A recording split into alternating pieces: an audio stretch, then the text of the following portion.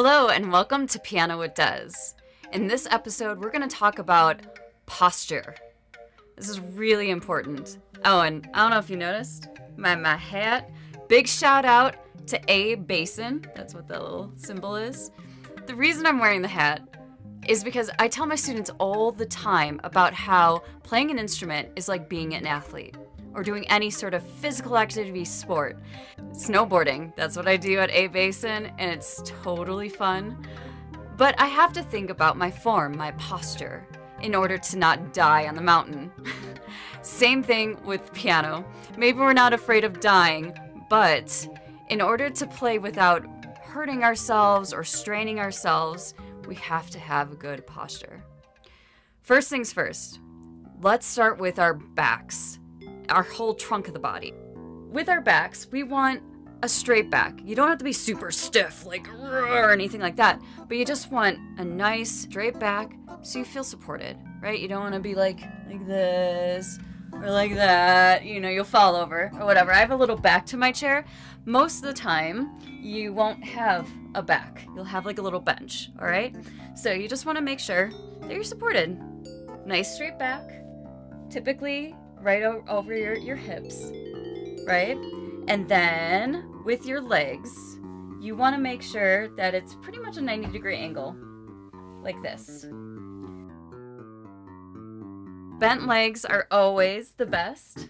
You don't, again, you don't want to like be flopping your legs around or like sitting cross it, cross-legged or something weird like that. Feet. And look, I'm gonna show off my little sparkles. um, mainly, you just want your feet flat on the ground. Now, I don't know if you noticed, here we go. My little, little pedal guy. This is where it's super important that you have your feet on the ground so you have a connection with something stable and sturdy.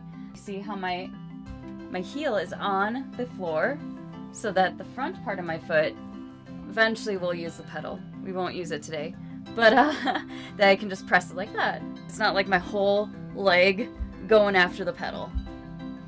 But for right now, we're gonna say goodbye to the pedal, bring this keyboard back, feet flat on the ground, legs nice and, and bent like this, relatively 90 degree angle sitting on your your booty and a nice strong straight back. Let's talk about our hands. That's what we use to play the keyboard. So often what I see from my students is we give in to gravity.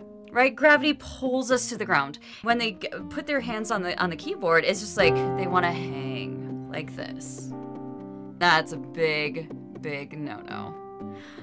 What we want to look for is our hand position kind of like a C, or if you want to make little binoculars like that. What happens when I make a little C? Or if you just like kind of hang your hands naturally. Here we go. Get all the different angles here, or front like this. If I just like let my hands hang, there, now look at that autofocus. You see, my hands are nice and, and bent. My, my fingers are kind of naturally curve, right? So I'm just gonna gently lower my hands to the keyboard and see what happens. My hands are nice and curved. If I give in to gravity too much, whoa, look what happens. My fingers go really straight, my wrists are below the keys, and it's just bad. Those are the big things. You want to make sure your wrists stay right above the keys.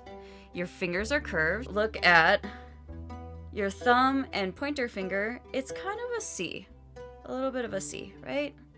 So that's what you're looking for there. How does that affect the thumbs? Main thing when you're playing on the on the piano, there we go. You're gonna be playing on the fingertips like that. The thumb can't really play on the finger on the thumb tip too much because otherwise it's like this weird claw thing. So I call it the side tip of my thumb, like this. And when I do that, then the rest of these fingers can stay curved. A little different angle. So not the complete tip, but the side tip of the thumb. When I do that, then the other fingers can curve like this. I'll show it on, on the keyboard. So like this, side tip.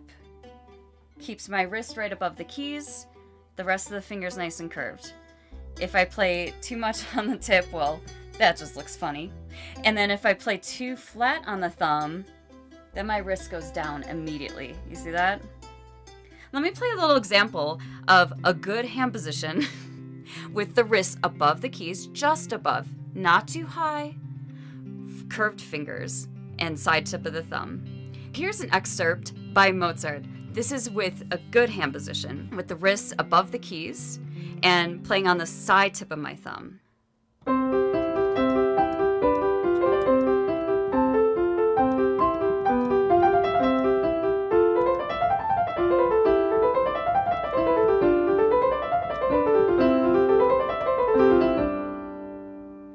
Now here's poor hand position. I'm gonna just give in to gravity. See my wrists are really low and my fingers are kind of straight. And let's see how well I play this, this Mozart now. I'll try my best.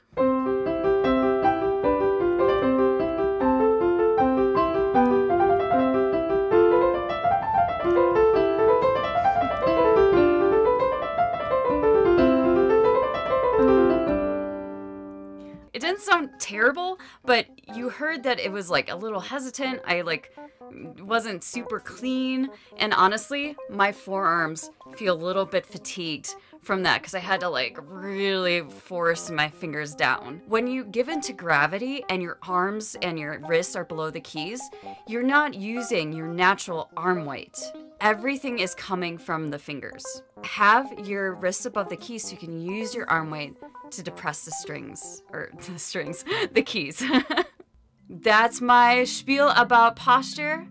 Thank you so much. I hope to catch you in the next one. Happy practicing. Thanks for watching this video. Please like and subscribe if you haven't already. Check out our website, dezcormedia.com, and our Instagram page at dezcormedia for additional content. Feel free to ask any questions in the comments below, and if there's a topic you'd like us to cover, please let us know. We look forward to making more videos like this, so stay tuned and we'll see you in the next one.